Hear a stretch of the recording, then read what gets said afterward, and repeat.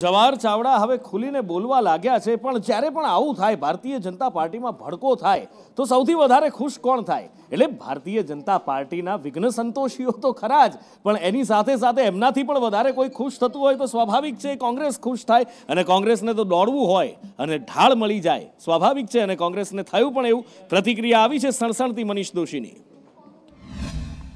જવાહરભાઈ જ્યારે લીધા ત્યાં જવાહરભાઈ તાકાતવાળા છે, બીજાને લેવા ત્યાં તાકાતવાળા છે.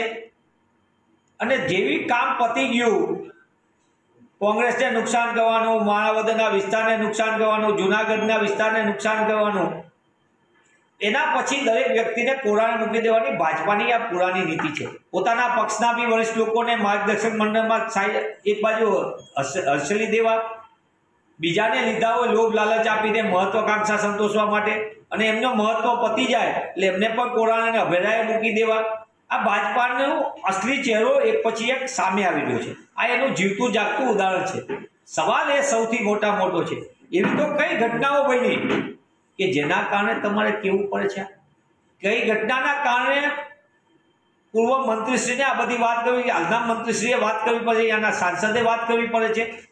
એટલે કે ભાજપાની અંદર સત્તાની સાઠમારીના કારણે જે ખેલ ખેલાઈ રહ્યા છે, એ ખેલનો ભોગ તો જનતા બની રહી છે.